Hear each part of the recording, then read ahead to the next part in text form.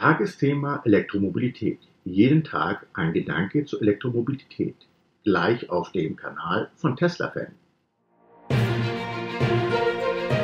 Hallo, hier ist wieder Tesla-Fan mit dem Tagesthema zur Elektromobilität. Über ein Abo würde ich mich natürlich freuen. Daumen hoch fürs Video ist immer gut. Und unterhalb des Videos findet ihr die Links zu den Internetseiten, wo diese Informationen her sind. Außerdem gibt es ein paar Videos unten drin, äh, Twitter-Account, Link zu meiner Versicherung, die ich nutze für die Elektroautos und ein Link zu den CO2-Zertifikaten, wo ich meine CO2-Zertifikate von meinen Fahrzeugen verkaufe. Aber kommen wir zu der Elektromobilität. Und da fangen wir gleich mal mit Tesla an. Ja, hat Tesla wirklich Absatzprobleme? Das ist die Frage. Ich hatte hier einen Artikel, ähm, dass zum Beispiel als erstes merkwürdig natürlich in Australien keine neuen Model S und X verkauft werden sollen und sie das sozusagen zurückziehen. Ich weiß nicht, ob sie auch Orders, die schon gemacht worden sind, wieder zurücknehmen und das Geld, was angezahlt worden ist, zurückgeben. Das ist natürlich für Leute, die wirklich lange auf ihr Auto gewartet haben, relativ dramatisch. Aber das würde ja bedeuten, dass sie zu wenig Autos haben, um dann den Markt zu bedienen, wenn sie einen Markt reduzieren äh, und dort weniger Autos verkaufen. Oder es hat andere regulatorische Gründe, warum sie dort sich äh, im Markt zumindest momentan ein bisschen zurückhalten. Wenn man dann ähm, so schaut, die Produktionskapazitäten von äh, dem Model S und Model X speziell, ähm, ja, es war am Anfang, als die Produktion wieder aufgelegt worden war, dass grundsätzlich gesehen immer hm, so viele Autos wie produziert verkauft wurden. Und äh, wenn man sich denn das äh, anschaut, dann ist es so, dass am Anfang 16.000 Autos oder etwas über 16.000 Autos produziert worden sind im Quartal und die wurden dann auch ausgeliefert. Ähm, und im, äh, im Quartal 3 äh, waren 19.000 und waren 18.000 ausgeliefert und im äh, Quartal 4 20.000 und es wurden 17.000 ausgeliefert. Nur jetzt im Quartal 1 wurden nur 8000 Fahrzeuge ausgeliefert. Und es scheint so, dass speziell das Model X ähm, weniger Nachfrage hat als erwartet. Warum ist das so? Warum werden die Fahrzeuge, weil ich fahre selbst ein Model S, ein hervorragendes Auto, ähm, warum werden die Autos jetzt nicht mehr so verkauft wie bevor der Stopp gemacht worden ist äh, zur Weiterentwicklung des Fahrzeugs? Der Markt ist enger geworden. Man hat wesentlich mehr Alternativen im Bereich nach unten hin, nämlich mit einem Model Y, äh, Model 3, ganz viele andere Elektrofahrzeuge, die man kaufen kann. Das heißt, alle Autokäufer, die an sich nicht das Geld für ein großes Auto wie ein Model S ausgeben wollten, äh, aber keine Alternative hatten, haben dann eben dieses Fahrzeug gekauft, weil sie gerne ein elektrisches Fahrzeug fahren wollen. Heute, wenn Sie, also wenn, das, wenn Sie die Preise vergleichen, dann gehen Sie höchstwahrscheinlich und kaufen ein Model 3 oder Model Y anstatt ein Model X oder Model S. Das ist die eine Käuferschicht. Und es gibt natürlich auch äh, Polestar, VW, ähm, Mercedes und so weiter, also ganz viele andere Fahrzeughersteller, die auch noch Alternativen im unteren Segment bieten. Dann gibt es aber auch die Fahrzeuge, die jetzt neu dazu gekommen sind, nämlich äh, der EQS, der BMW 7er, der iX, ähm, der EQE. Oh, welche haben wir denn da noch? Ja, die chinesischen und sowas sind natürlich in China ist es so, dass dort natürlich auch noch die chinesischen Hersteller sehr stark sind, in Amerika und Europa noch nicht so stark. Das kommt demnächst. Und die bieten in dem Segment, in dem Tesla seine Fahrzeuge anbietet, eben Alternativen. Und jetzt ist das so, dass sich ähm, Leute, warum hat man damals, als es die Verbrenner gab und Mercedes gab zum Beispiel, warum hat nicht jeder einen Mercedes gekauft? Das war damals als Verbrennungsfahrzeug ein gutes Fahrzeug in dieser Preislage. Nee, es gab auch ein BMW, das ein gutes Fahrzeug war, oder ein Audi oder ein Toyota, die in diesen Preislagen waren. Das heißt, man hatte auch zur damaligen Zeit, also heute ja immer noch dasselbe, aber wenn wir auf den E-Mobilitätsmarkt gucken, hatte man Alternativen. Daher wurde von Fahrzeugen eben, hat nicht ein Fahrzeug alleine den Markt dominiert. Und das ging nicht darum, weil das eine jetzt besser oder schlechter war, sondern es ging darum, weil die Menschen eben unterschiedlichen Geschmack haben, was sie fahren wollen. Und daher haben die sich dann eben für ein anderes Fahrzeug entschieden. Zurück zum Model S und Model X.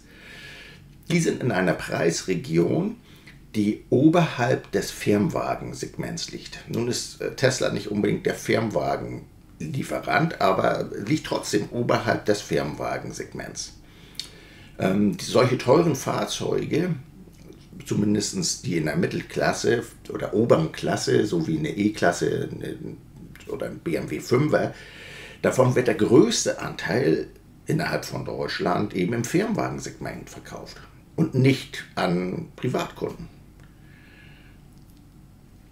So, wenn man jetzt aber kein, kein Fahrzeug hat, was in diesen Segment hineinfällt, was in das Budget für Firmenwagen hineinfällt, dann hat man eben das Model 3 oder das Model Y, was aber eher in den Bereich, den unteren Bereich von Firmenwagen hineinfällt.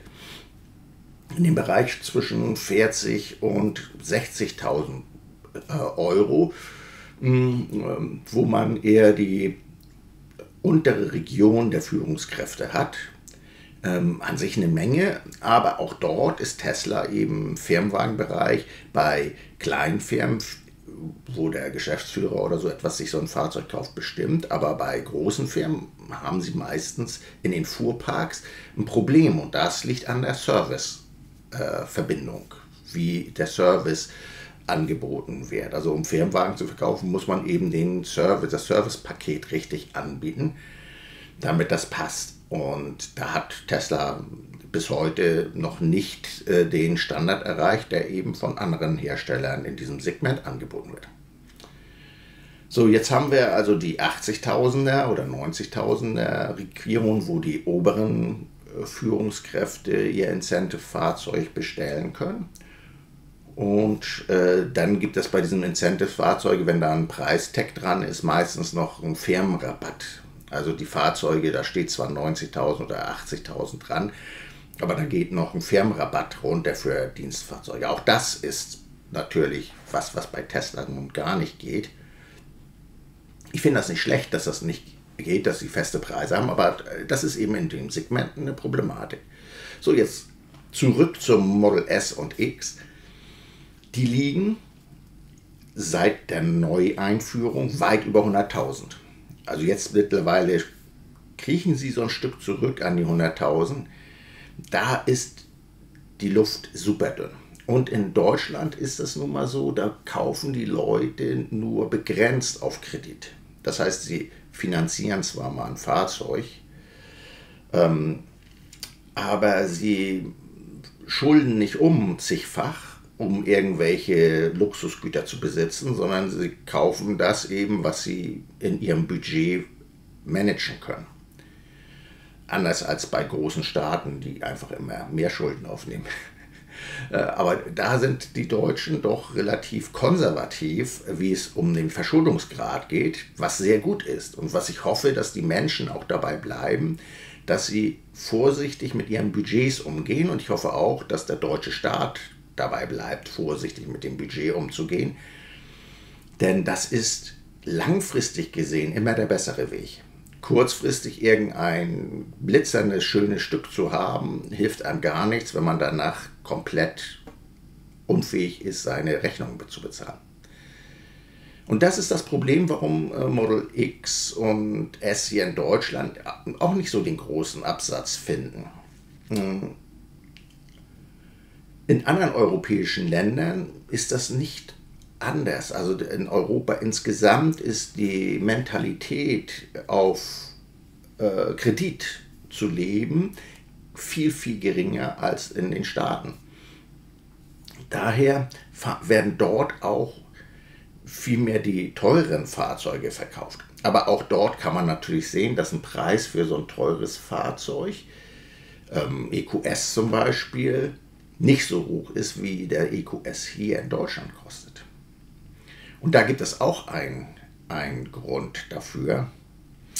Denn hier in Deutschland könnte der EQS ruhig 20.000 Euro günstiger sein. Man würde nicht mehr Fahrzeuge verkaufen. Weil in diesem Segment, wo der sich solch Luxusfahrzeug aufhält, da gibt es einfach nicht viel mehr Käufe. Der durch, das durchschnittliche Einkommen ähm, liegt irgendwas bei 40.000, 40.000, 50.000 in äh, Deutschland. Jetzt guckt man auf dem Auto. Ein Auto kostet, so also ein Model S kostet 100.000. Da kann man sich gut vorstellen, dass viele Leute da zwar das hübsch finden, aber sich so ein Fahrzeug doch nicht kaufen werden. Und das ist der Grund, warum S und X nicht so gut verkauft werden.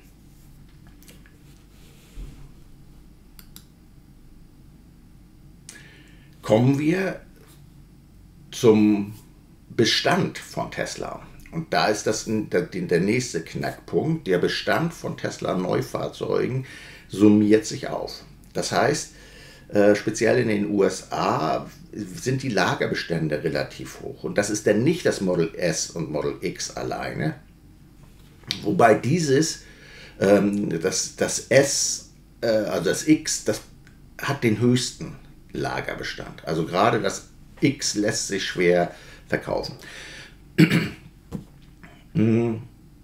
Bei den anderen Fahrzeugen ist es so, dass man eben auch dort, selbst wenn man sagt, Mensch, ja, so ein Auto, so ein Model 3 mittlerweile ja vom Preis her weiter runtergekommen, liegt an sich in einem Preissegment, wo ich sage, ja, das Auto ist an sich relativ gut bepreist.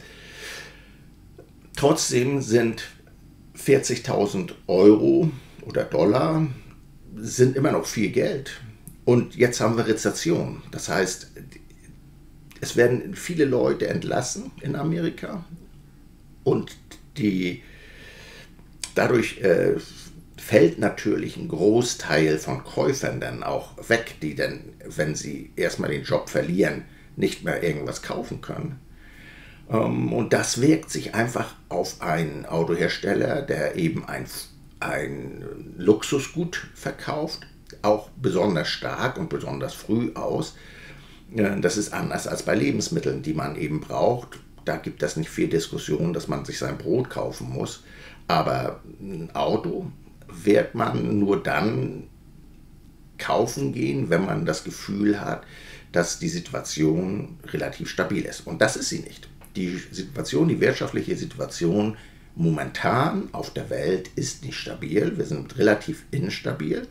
Viele Faktoren spielen da natürlich rein.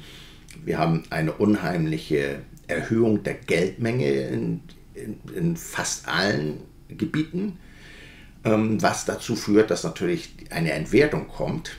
Noch, ähm, das heißt, derjenige, der jetzt ein Budget hatte und hat dann für die Woche 200 Euro gehabt, um einkaufen zu gehen, ähm, der merkt, dass er diese 200 Euro, dass er damit nicht mehr auskommt oder andere Sachen kaufen muss, und seinen Lebensstandard reduzieren muss. Und wo reduziert man als erstes? Natürlich bei den Gütern, die nicht absolut notwendig sind. Dann kann man lieber noch etwas länger ein älteres Fahrzeug fahren, als dass man sich eben ein neues Fahrzeug kauft. Und daher kommen die Bestandszahlen bei Tesla. Und bei Tesla wirkt sich das eben von den Bestandszahlen auch bei den kleineren Modellen stärker aus, weil eben auch wenn die Fahrzeuge mittlerweile in einen günstigeren Bereich gekommen sind, sie immer noch ähm, ja, relativ kostspielig sind im Vergleich zu einem Fiat 500 Verbrenner.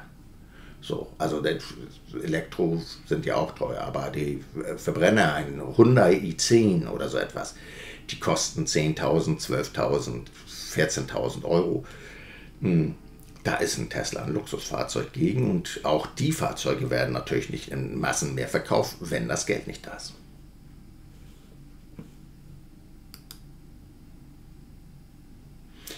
Kommen wir mal zu einer positiveren Punkt oder zu einem positiveren Punkt und das ist das Model Y. Das Model Y hat man mit den kleineren Felgen getestet gegenüber den größeren Felgen und hat eben festgestellt, dass, der, dass die Reichweite fast 30 Kilometer mehr ist, wenn man die kleineren Felgen nimmt, als wenn man die größeren Felgen nimmt.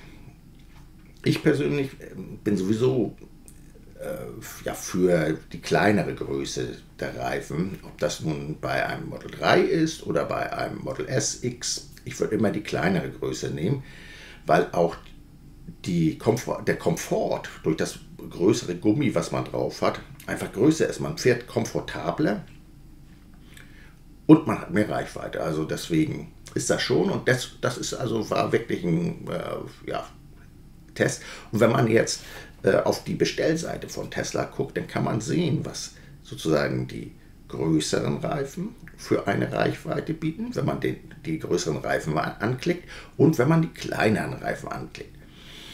Ich habe einmal äh, dreiteilige Felgen, ich weiß nicht, BBS oder so etwas, also ähm, ganz besondere Felgen bei einem Fahrzeug mitgekauft. Das war damals ein Mercedes 300, glaube ich, Kombi, ein gebrauchter, sechs Jahre alt oder so. Ja, und da habe ich, war dabei, waren dreiteilige Sportfelgen. Sah top aus. Ein unbequemes Fahren würde ich nie wieder machen, mir sowas zu holen. Auch wenn das Auto vom Aussehen her natürlich an sich ganz gut aussah, wobei es schon overdone war, so obermotzt war. Also gefiel mir nachher nicht mehr. Also die Idee beim Kauf hatte ich erst gemacht, weil er mir einen super günstigen Preis angeboten hat. Aber im Endeffekt war das herausgeschmissenes Geld.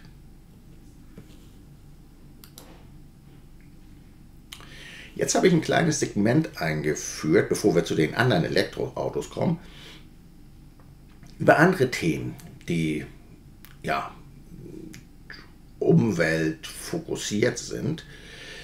Da gibt es jetzt die schwimmenden äh, Plattformen für Windräder.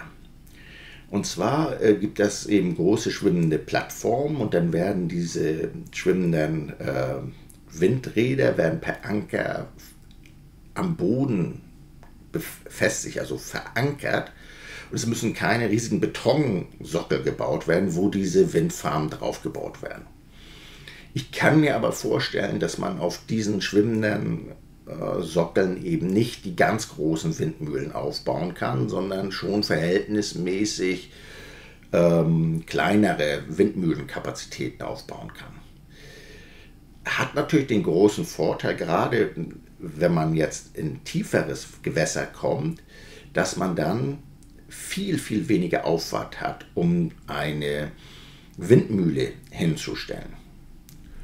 Und äh, das ist eben äh, ja, ein Riesenvorteil, wenn man, wenn man sich das anschaut, ähm, solche schwimmenden Plattformen zu machen, weil auch viel schneller installiert werden kann. Eins ist natürlich klar, der Anschluss muss gegeben sein. Und ähm, wenn solche Windmühle sich losreißt von der, von der Verankerung, ja, dann kann eben äh, nicht nur die Windmühle zerstört werden, sondern es wird das Kabel zerstört, es werden andere Windmühlen zerstört. Daher muss diese Verankerung schon extrem sein, denn wer auf hoher See mal raus war und gesehen hat, was für eine enorme Kraft das Wasser hat, ja, der weiß, dass das muss schon extrem gut verankert sein, dass das Ganze schwimmt. Aber eine tolle Sache und im Artikel sind auch noch ein paar Zahlen drin, wenn ihr euch dafür interessiert. Also ähm, ganz bestimmt eine Möglichkeit, Windmühlen besser und einfacher aufzubauen, gerade in tieferer See, wo man nicht die Möglichkeit hat, vernünftige Fundamente zu errichten. Ja, in Freiburg ist ein überdachter Fahrradweg gebaut worden. 300 Meter lang. Das ist natürlich, also für das, also wenn man denkt, ja, man fährt beim Regen und hat jetzt einen überdachten Fahrradweg, was ja ganz smart ist, aber so,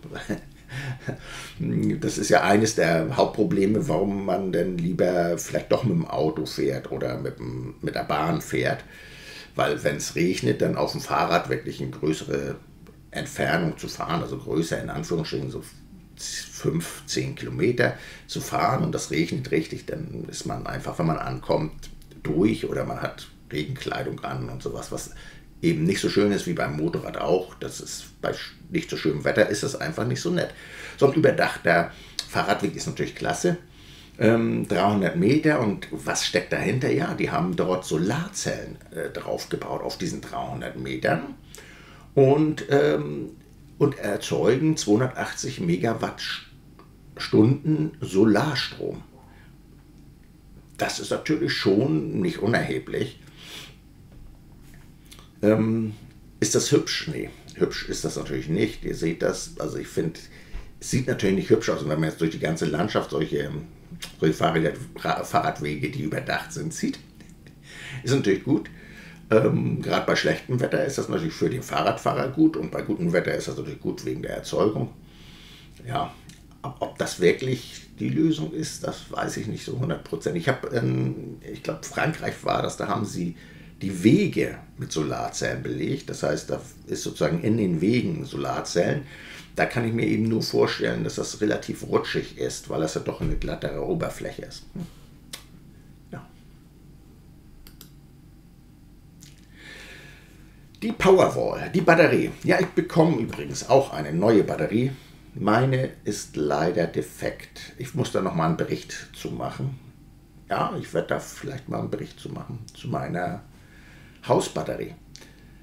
Ähm, eine relativ große Investition und relativ frustrierend, dass man das jetzt tauschen muss, aber ich möchte eben eine Batterie haben, ich möchte den Solarstrom speichern können.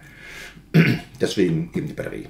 Ähm, Tesla, ja, Tesla Powerwall hatte ich mich auch informiert, bloß ich habe keine Antworten gekriegt. Also es ist relativ schwierig. Ich habe mehrere Anbieter oder mehrere Vertreiber von diesen Solar äh, oder von den Batterien angeschrieben und ich habe keine einzige Antwort. Doch von einem habe ich eine Antwort gekriegt, dass er im Moment keine Kapazitäten hat. Auch das ist natürlich ähm, nicht denn optimal, wenn das so ist. Auf jeden Fall, die Powerwall wird jetzt getestet in Deutschland im Netzeinsatz. Das heißt, Private können sozusagen ihre Powerwall dem Netz zur Verfügung stellen. Das ist bei ENBW der Fall. Und, ähm, oder Transnet BW ist ja der TSO und die können jetzt diese, diese Batterien mitnutzen. Und wenn man wirklich mh, hm, eine Menge an Batterien hat in den Haushalten und man dort einen gewissen, also man nicht das volle Potenzial, aber man gibt, äh, sagen wir mal, 20 Prozent für das Netz davon frei, ähm, dann würde das natürlich auf die Masse gesehen schon etwas bringen wenn dort sich ganz viele beteiligen und wenn das sich dann eben auch für diejenigen, die sich beteiligen, lohnt. Weil jedes Laden und Entladen einer Batterie, egal wie viel das ist, geht natürlich auf die Lebensdauer. SpaceX, der 25. Flug eines, einer Falcon 9, das ist ja die große Transportrakete ähm, von SpaceX, ähm, ist jetzt, also ist sozusagen gewesen jetzt und sie haben jetzt neue Satelliten rausgebracht. Ich weiß nicht, ob sie auch Fremdsatelliten oder andere Ladung mit oben hingebracht haben. Äh, und die 25. der 25. Fluch in 2023.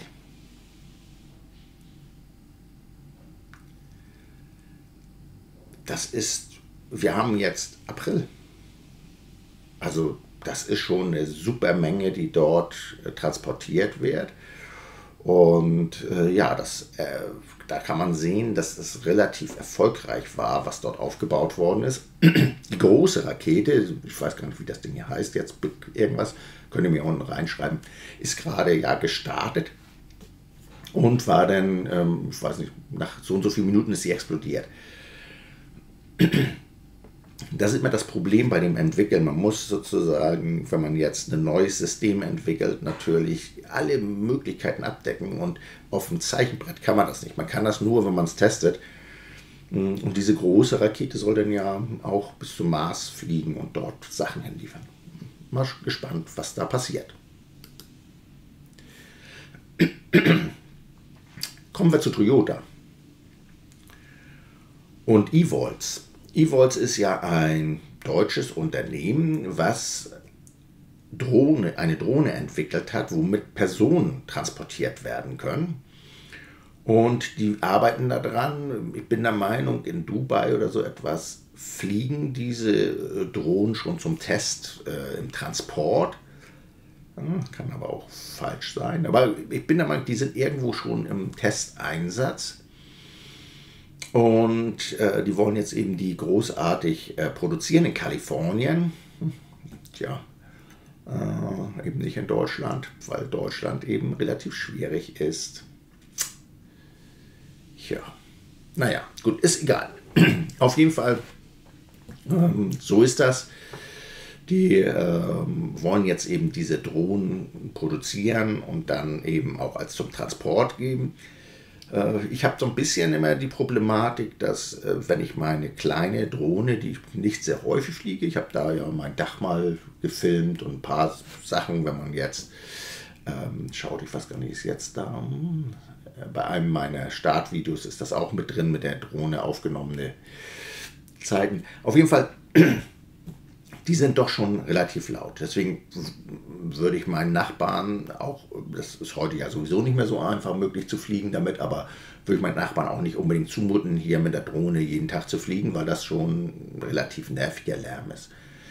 Und nun, wenn jetzt solche Dinger dir über den Kopf rüberfliegen, lass sie sicher sein.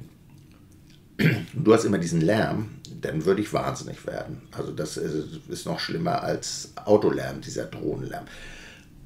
Daher, das muss schon relativ leise sein. Es gibt eine, einen Drohnenhersteller, der kleinere Lieferdrohnen baut.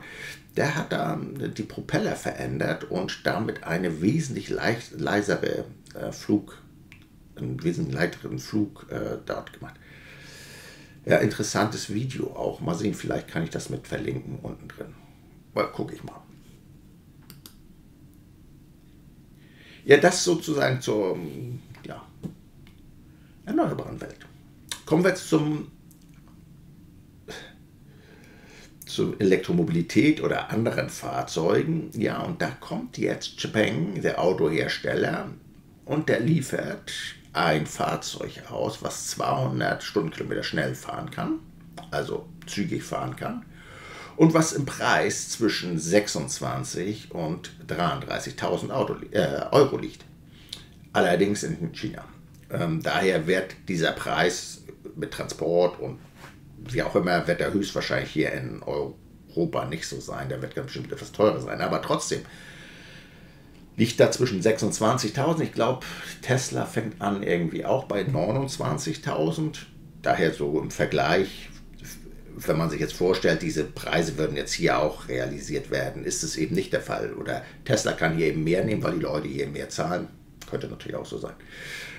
Aber dieses Fahrzeug hat eine sehr gute Reichweite von äh, 500 Kilometern, also äh, schon äh, richtig gut für so ein Fahrzeug.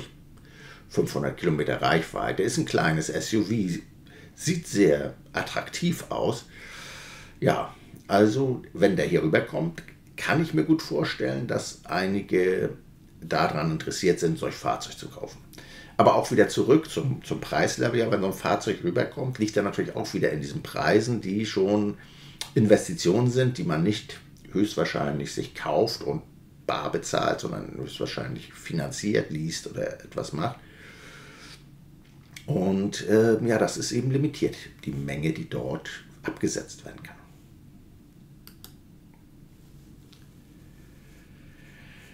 Ähm, ja, dann kommt der äh, äh, Zirk oder Zirk. Verdammt, ich hatte das, mir hatte jemand das unten reingeschrieben, wie, der, wie man das ausspricht. Also ich sage einfach mal Zerg. Zerg. Und der kostet umgerechnet 28.000 Euro. Auch ein kleiner SUV. 560 äh, Kilometer Reichweite. Ja, 28.000 Euro, aber auch hier denke ich, dass der Preis in Europa bei 40.000 liegt. Wenn sie clever sind, dann liegen sie irgendwo bei 38.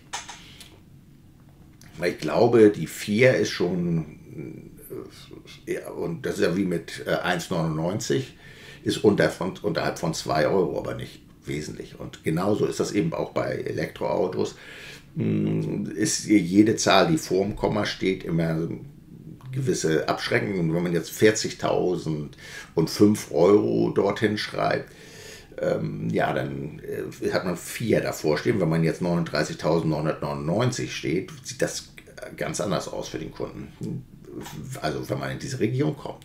Auf jeden Fall, wenn die jetzt auf den Markt kommen, hm, und das wird höchstwahrscheinlich irgendwann Anfang 24 sein. An sich wohl vielleicht doch in 23, aber ich glaube so 24 in 24. Und dann kommt in 24 kommt dann der, der Zerg, dann kommt der Japan hier rüber, dann kommt NIO rüber, wobei NIO mit den Wechselbatterien und dass man für die Batterie so viel Geld zahlt und so weiter, hm, ja, weiß ich nicht.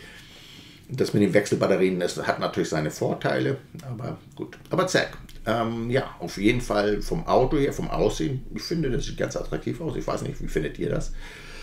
Ähm, ein interessantes Auto. Winfast. Was ist ein Winfast? Der Winfast ist ein vietnamesisches Unternehmen. Kommt ein Unternehmen nach dem anderen entsteht durch diese neue Technik, die wir haben.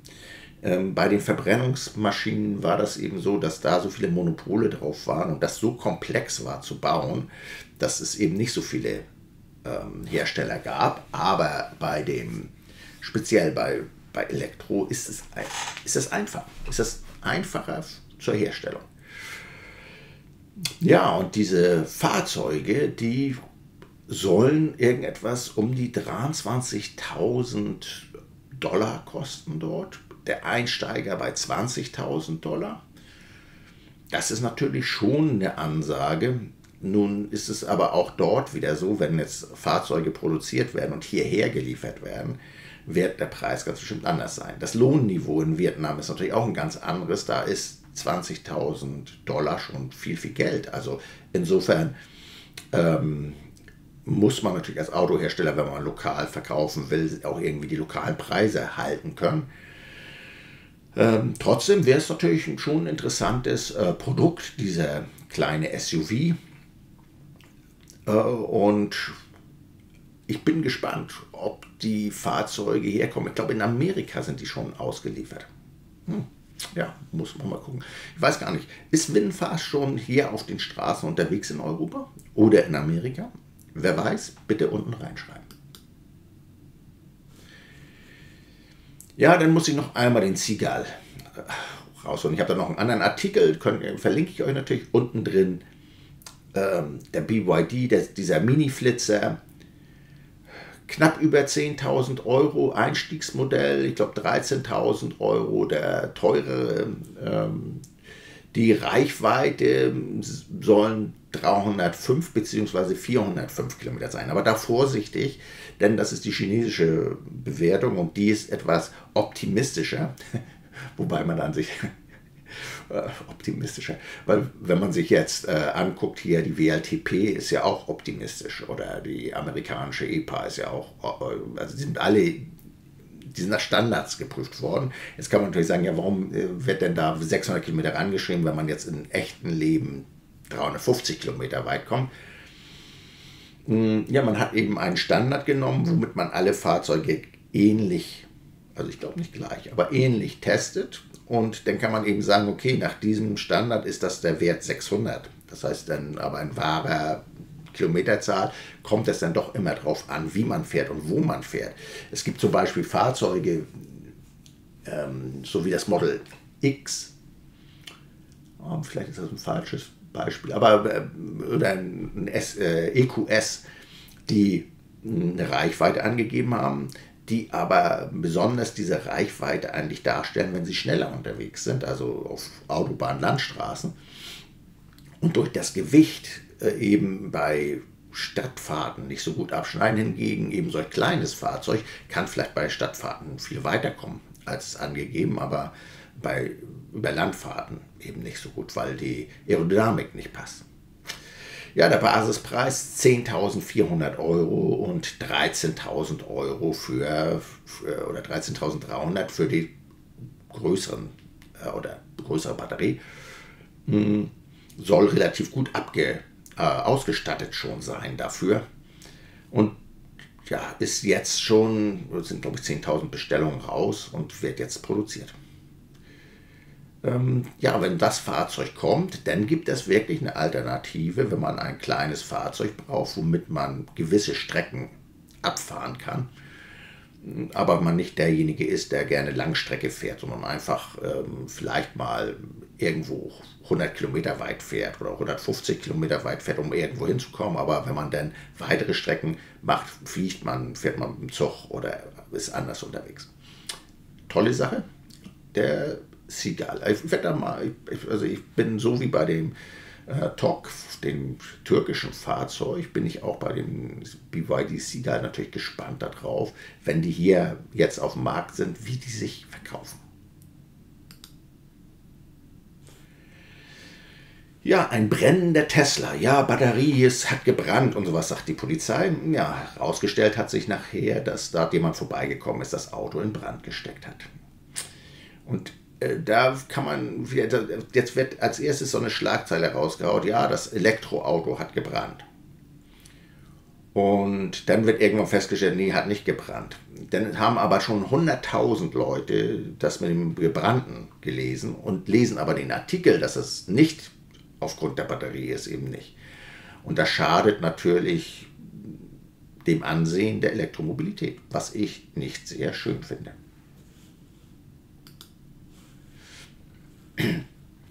Herz. Herz hat mittlerweile 50.000 Fahrzeuge elektrisch. Das finde ich schon relativ, also schon relativ viel. Jetzt ist natürlich die Frage, die man sich stellen muss, ja, wie viele Fahrzeuge hat denn Herz insgesamt? Ja, und die haben 500.000 Fahrzeuge insgesamt in ihren ganzen und damit äh, sind sie eben bei 10 Prozent. Denn relativ gesehen sagt man, ja, dann ist das doch nicht ganz so viel. Denn ich glaube, der Prozentsatz war jetzt bei, hm, war das 14 Prozent elektrischer Fahrzeuge? Ja. Aber es gibt eben auch noch ganz, ganz viele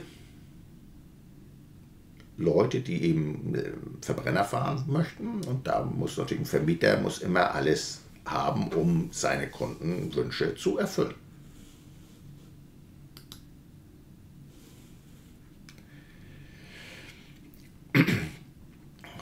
Ja, Fastnet und Tesla gehen gegen den Betreiber der Parkplätze, Autobahnparkplätze an, weil der blockiert die Möglichkeit, Schnelllader aufzubauen.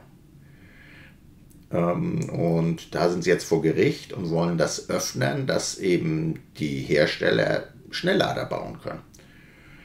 Und sie sagen eben, das hat nichts damit zu tun mit der Lizenz, die dem Betreiber garantiert, dass er eben dort die Verkaufsstelle hat und Benzin verkauft. Hat nichts mit elektrisch zu tun. Und das stimmt. Ladestellen sind keine Benzinstellen, also keine Tankstellen, sondern das sind Ladestellen. Und ich hoffe, dass Tesla und Fastnet damit durchkommen, dass man sozusagen dort auf den Rastplätzen Schnellladestellen aufbauen kann, dann denke ich, würden wir sehr, sehr schnell einen Zubau kriegen. Jetzt guckt man sich das Tank und Rast an, das ist doch eine Katastrophe. Drei Stellchen, die sie dahin gebaut haben, da müssen 50 Ladestellen bei solchen Tankstellen hin sein. Ähm, andererseits kann man natürlich sagen, okay, gut, du hast das die Hoheit, aber du musst 50 Stück dahin bauen von Tank und Rast. Und zwar innerhalb vom halben Jahr oder Jahr. Und wenn sie es nicht machen, müssen sie Strafe zahlen. Also ist, man kann das nicht blockieren, weil das ist äh, ja schon sehr unschön. Daher hoffe ich, dass Tesla mit dieser Klage und Fastnet mit dieser Klage durchkommt. Ähm, ich frage mich, warum dann nicht noch andere Schnellladehersteller sich beteiligen. Ja, und Tesla erhöht weiter die Prognose für die Investition. Die wollen ca. 7 bis 9 Milliarden 2023 äh, investieren. Das ist natürlich eine riesige Summe. Tesla hat einen, hat einen riesigen Puffer an, an Guthaben angesammelt, äh, die Überschüsse immer angesammelt, um eben diese Investitionen zu machen. Denn es ist eben absolut wichtig, dass das kleine Model, das Baby Tesla Model für 25.000 Euro auf den Markt kommt. Denn wie wir am Anfang eben gehört haben, ist die, ist die Sättigung bei den anderen Fahrzeugen. Hingegen bei den kleineren Fahrzeugen ist ein riesiger Markt und wenn Sie den bestücken können, können Sie sehr erfolgreich sein. Ja, Mensch, das war's. Ähm, ja, heute doch wieder länger geworden. Ich weiß nicht warum, aber es äh, ist doch so, dass es immer etwas länger wird. Wer bis zum Schluss durchgehalten hat, herzlichen Dank dafür. Bis zum nächsten Mal. Euer Tesla-Fan.